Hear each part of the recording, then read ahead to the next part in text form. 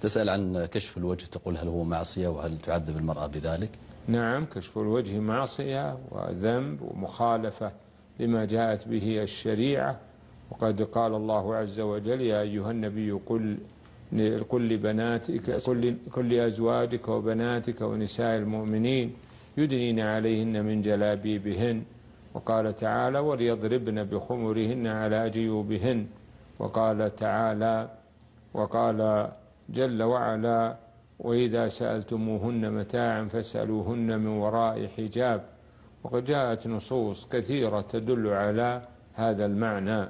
وبالتالي الوصية للجميع أن يتقربوا لله جل وعلا بالتزام أحكام الشرع.